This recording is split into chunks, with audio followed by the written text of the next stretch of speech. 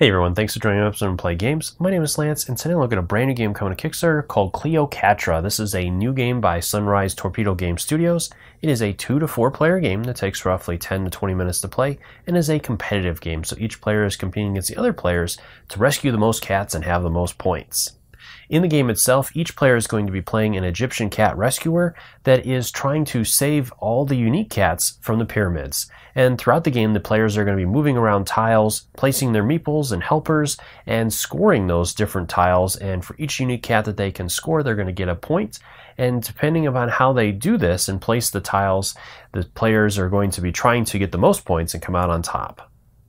So some highlights for me. First off, the artwork is just adorable with this one. If you enjoy cats, if you're a cat lover, this is definitely one that's going to grab your attention. And it's a great little filler game at the 10 to 20 minute mark. You can definitely throw this one down in between some of your larger games. And it's a great little fun family game that isn't too complicated. So as always, if you find these videos helpful, if you like what I do, please consider that like button, subscribe to my channel, as it really does make a big difference, helps me to continue to grow and produce these videos. If you want to stay updated on all my videos, also consider ringing that bell so you get notifications anytime I release new content. So let's head to the table and I'll show you what this one's all about. In Cleocatra, there are five different colored tiles that the players are going to be manipulating throughout the game to score points. In the advanced mode, each one of these is going to have a different unique ability that will be triggered when the player scores on that particular tile. The game is going to start with the first player and then proceed around the board with each player getting to take a turn. During a player's turn, that player must perform two actions, and the player is going to have five different options for actions he can perform. And these are going to be broken down into two different categories pyramid actions and rescuer actions. I'm going to take you through each one of these to show you the kind of options you have during the turn. So let's start with the pyramid actions. And so the very first one within that is Scout. And Scout is going to allow you to draw a random tile from the supply and place it face up adjacent to one or more other tiles that are already out there. So for this example, let's say that I drew this one and then I would place it out on the playing board. Now, if uh, there was other tiles out there, I can choose to place it adjacent to another tile on one of the flat edges. The second option a player has is search, and this one is going to allow you to take an unoccupied tile and then move it to a different location in the pyramid. So let's say, for example, that my player had a meeple there and for whatever reason he wanted to move this tile, he could move it to another place on the pyramid, as long as it is not occupied. And those are the two options for pyramid actions. Then there are rescuer actions. So the first with that is a dispatch, and you can place a rescuer on a tile you just played uh, or moved. So with me moving this tile, then I could choose as my second action to place a rescuer there. The second option within this is the team up, and this is going to allow you to place a rescuer on any tile that is adjacent to one you occupy. So previous example, let's say that I had a guy there, I could also choose to place one here as he is adjacent to one that I have. And the final option is to score, and this option is going to be dependent upon what place you choose to score from. So if I choose to score from this one, let me place some more out here, such as this. Then I'm going to count each tile that is different than this one plus this one. So I get one for the blue, one for the green, and one for the yellow for three points. I will not count the second green as it, I already have one. And then I also will count one point for each helper that I have in there. So I have one guy here, so that'll give me four points. This one doesn't count because this is my scoring tile. Once I'm done with that, then I'll remove the helpers or the rescuers back to my supply and I would place a brown marker on there to say that that was where I took it from. And this will count as a space or a rescuer. So each space can only have two meeples added on at any time, or one meeple and a brown token. This is going to continue with each player taking a turn until one player reaches or exceeds the 23 points, and that will trigger the end of the game, where each player will have an equal number of turns. So depending upon who triggered that, you'll finish off the round, and then the player that has the most points will win. And if there's a tie, the players will share in that victory. Once you've played through the game a couple times, there is an advanced mode that adds some additional skills and tile abilities. So I'd like to take a look at some of these right now. So each one of the tiles, the colored tiles, is going to have a little ability that's listed up in the upper right hand corner. And each one of these abilities is going to have a different effect. With the blue tile, with these, you can move the tile even if it has a rescuer or inspector on it. So in this situation here, I could choose to do an action to move this tile to a different area, even though I have, there's another meeple on there, where normally you're not allowed to. With the green tile, if you have a rescuer on there, you can spend an action to swipe your meeple with another person's meeple. With the purple tile, when you score on this tile, you will not have to remove your meeple from that tile, so you'll get to keep them on there. With the orange tile, when you score on this tile, when placing inspectors, you're going to actually place two, and you can place them on any other tile. You don't have to place them on the tile that was on there. And the final tile is the Cleocatra tile. With that one, it is a unique tile. There's only one of them included in the game.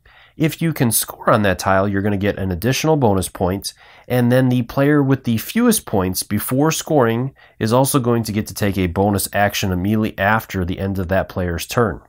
And the final thing I want to do is take you through some sample turns. So the game is going to start with the first player, and the last part of setup with this is that each player, starting with the first player, will choose one of the tiles, placing it out, and then placing one of their meeples on it. So again, starting with my blue player first, I'll draw this tile here and place him out. Then the black player will go and he's going to choose this tile and he'll place that here and then finally the green player will go and he's going to take this one here and place that. All right, then it will the game will begin with the blue player taking his turn. And again, he will have two actions that he can do. So the blue player will start off by drawing a tile and placing it out. And then he is going to play a dispatch to place a meeple there. Moving over to the black player, he will go and he's going to go ahead and do a dispatch and place a guy there. And he's going to do a second dispatch and place a guy there. Moving over to the green player, he will go ahead and draw. And he's got that one. And then he will place a meeple out. And each space can only have a maximum of two meeples. So that is one of the reasons why the green couldn't place a meeple there. Moving back over to the blue player to go, he is going to place a meeple out for dispatch, and then he's going to go ahead and score. So he's going to score the yellow space, and so he's going to get one for the yellow, one for blue, and one for green. So that's three points. And then he gets a bonus one for each helper that is in those areas. So he's going to get one for this and one for that. So blue picks up five points. And then he removes all of his meeples, adding them back to his area, and he'll add a brown inspector there. Then it'll move over to the black player who is going to pretty much just go in, go ahead and score. And that is the one exception to that. If you rescue as your first action, then that will end your turn. So he's going to go ahead and he will do these three as well, as the blue will not count as there's two blue there. So he's going to get five points as well. One, two, three, and then four, five for his two helpers. So he'll remove those and add a brown to that one as well. And then we'll mark his spot. Finally, with the green player to go, that player is going to do a move action. So he's going to move the tile to another location. And then he will do a dispatch tile section. Moving back over to the blue player, he's going to go ahead and do a scout. So he'll flip over a tile and place it out and then he's going to do a dispatch. Moving over to the black player, that player will do a scout. And let's place it over here. Then he is going to place a meeple out. Moving over to the green player, he will go ahead and score on this tile here. So he's going to get one, two, three, four points. And then he is also going to get 5 and 6 for that, so he's actually got 6 points now.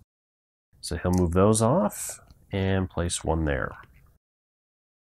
Moving over to the blue player to go, that player is going to dispatch, and then he is going to go ahead and do a quick score. So he's going to get one, two, three, and 4 points for the helper.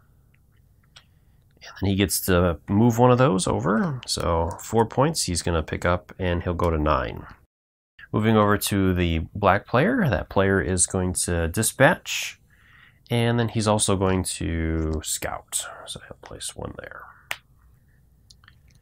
Moving over to the green player to go next. Green player is going to scout and place one here and then dispatch. And like I said, again, this is going to continue going until one of the players hits the 23 or over, and then each player will have the final to finish off that turn, and the player that has the most points will be the winner of the game. I hope you guys found this video helpful in deciding whether or not you want to back this Kickstarter. If you have any questions or comments, leave those in the comment section below and I'll do my best to answer them. Or swing by the Kickstarter's main page and drop any questions you have there as well. I'm sure the creator would love to hear from you and is more than happy to answer any questions you guys have. And if you found this video helpful, if you like what I do, please consider that like button, subscribing to my channel, as it really does make a big difference. It helps me to continue to grow and produce these videos. Until next time, I'll see you guys later.